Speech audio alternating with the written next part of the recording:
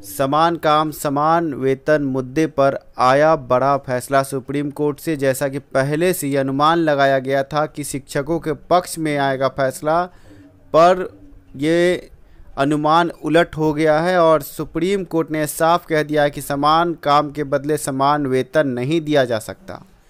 सर्व शिक्षा अभियान के तहत जो पैसे मिलते हैं, वो छात्रों की भलाई और उत्थान के लिए है, ना कि शिक्षकों के वेतन के लिए। ऐसा कहा गया है सुप्रीम कोर्ट के द्वारा, और ये फैसला शिक्षकों के पक्ष में ना आकर उनके विपक्ष में आया है।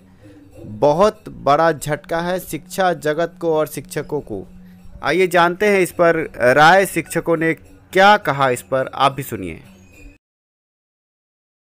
हम बैठे हैं बिहार के सरकारी स्कूल के एक शिक्षक के साथ। इस फैसले के बाद जो बहुत बड़ी निराशा हुई है, इस पर पहली प्रतिक्रिया आपको मिलेगी। हम पूछते हैं कि आखिर इस फैसले के बाद उनकी क्या राय है इस पर? सर, आप बताएँगे कि इस पर क्या राय है? मेरा राय यही है कि मैं सुप्रीम कोर्ट का सम्मान करता हूँ, उनका फैसला का सम्मान करता हूँ। फिर हम लोगों को सुप्रीम कोर्ट से बहुत आशा था, हमारे सभी शिक्षकों का बहुत आशा था कि हम लोग का पक्ष में फैसला आएगा। क्योंकि हम लोग शिक्षक, हम सभी शिक्षक बड़ी मेहनत से प्रारंभिक शिक्षा का बड़ा विकास में सहयोग करते हैं, मन से सहयोग करते हैं। इसमें हम लोगों को राज्य सरकार, केंद्र सरकार से भी आशा था कि दोनों हम लोगों को इस फैसले में सहयोग करेंगे।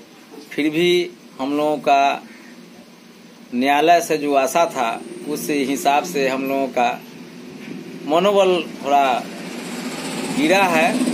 फिर भी मैं आशा करता हूँ भविष्य में कि माननीय उच्च न्यायालय या इसके पहले माननीय उच्च न्यायालय जो फैसला दिया था, उसके आलोक में राज्य सरकार कुछ हम लोगों को हित में अपना कदम उठाएँगे।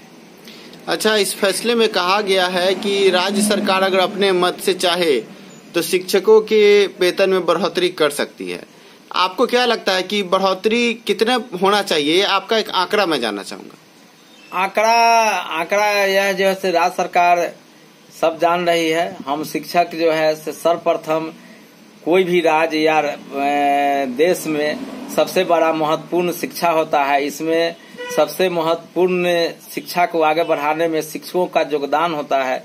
उसके अनुसार हम सभी शिक्षकों का वेतन तो इस हिसाब से कम से कम 40-50 के आसपास होनी चाहिए।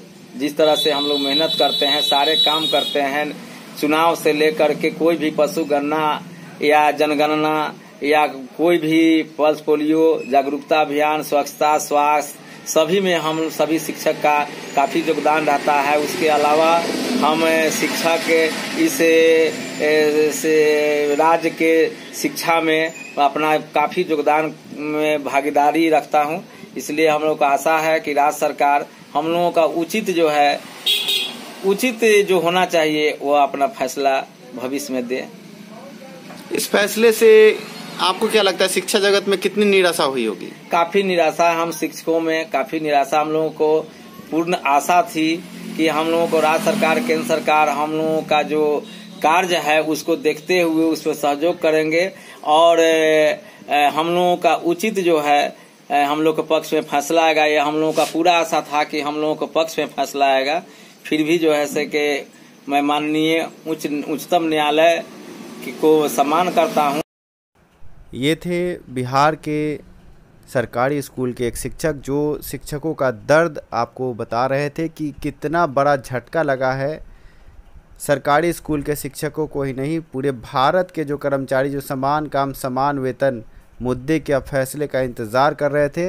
ये बड़ा झटका है, पर इन्होंने उम्मीद का दामन अभी तक छोड़ा नहीं है। इनका कहना है कि सुप्रीम कोर्ट के बाद अब राज्य सरकार इस पर अपने स्तर पर फैसला ले और शिक्षकों को उनके हक के हिसाब से वेतन दे।